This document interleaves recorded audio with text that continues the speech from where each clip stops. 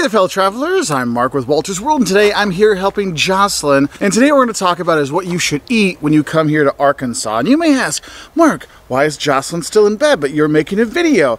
Because I want to get some of the biscuits. Look, Arkansas makes some fantastic biscuits when you're here so you might want to get up early to hit up that breakfast cafe to get some of those biscuits for breakfast or you can have the biscuits later on in the day in some of the cafes and restaurants because they are really really good when you come here. Also, you might see chocolate gravy on biscuits. And I know for me, it was hard for me to try it the first time, so I'm like, Hershey's chocolate syrup on biscuits? That seems kind of weird. But it's not Hershey's chocolate syrup. They actually make the chocolate sauce here, or the chocolate gravy, I should say, and you pour it over there, kind of like biscuits and gravy.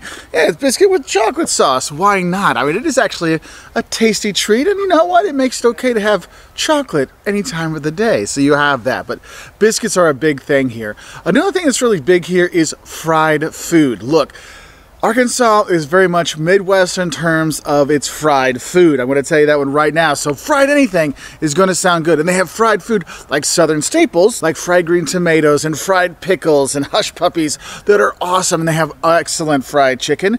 And it's not, apparently here in the Ozarks where we're at, they actually some place will serve fried chicken with spaghetti.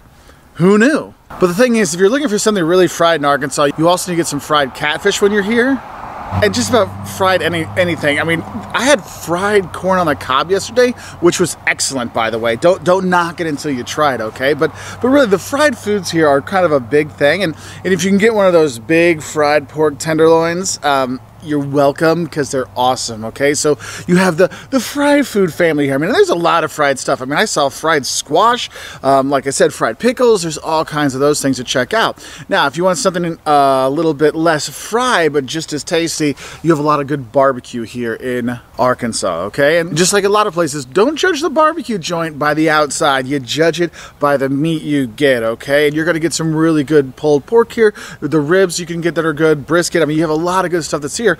But for me, you get a lot of those fried sides at those barbecue joints. So you can get a lot of different stuff put together when you are here. I mean, I had some amazing smoked mac and cheese. The kids loved it with some pulled pork on top. Oh, you, you can't go wrong. I mean, they love the pig here. I'm not going to lie to you. Whether it's the Razorbacks in football or basketball is probably better these days, um, or just on the barbecue, you're going to eat really well when it comes to the pork. And that gets me thinking about a few other fried things I think you should try when you're here. I mean, like, literally, the fried stuff really is a big thing here.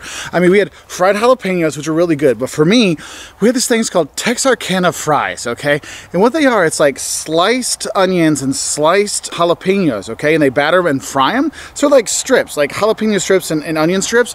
They fry it up and you eat that. And I mean, it was so good. I didn't even take a picture of it. I had to take a picture of the picture of it because we ate them so fast. So something really to have when you're here. Another thing to have when you come here are fried hand pies. I guess the, the best way to kind of explain it, if you ever had the McDonald's kind of like apple turnover kind of thing or or a hot pocket kind of thing like the folded up like little mini calzone kind of stuff. Look I know I'm really insulting the fried hand pies here when I say that but for you to understand what you're looking at I mean they are delicious. And you get them I like the fruit ones. You get those oh my god but do be careful because they're fresh and you bite into it you'll burn your mouth okay? But like most of the time they're just already fried ready you can just grab them and go. You can get them at the grocery store too so you'll be fine but yeah get some hand pies because they're tasty and if you're looking for something to drink when you're here, I'll give that to Arkansas.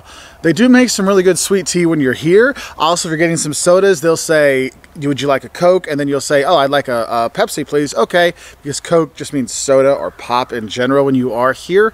Um, another thing I think you should know about drinking when you're here is actually there's some dry counties here in Arkansas. So a dry county is where they do not sell any alcohol. Now you can have alcohol, like you can bring it in. It's like BYOB to the county, bring your own beer in. Um, but in a dry county, they won't sell it anywhere. Okay, so you might want to look and see if it's a wet county. A wet county, there'll be liquor stores that you can buy beer at the gas gas station and restaurants will have that. Like, for example, where we're staying right now, I mean, the liquor store was open on Thanksgiving Day. So there are options for you, but you do need to check out like what you're going to have and what's available there. And sometimes they have what's called a moist county, uh, which they just sell alcohol at the restaurants, and, and that's basically it. There's no liquor stores, okay?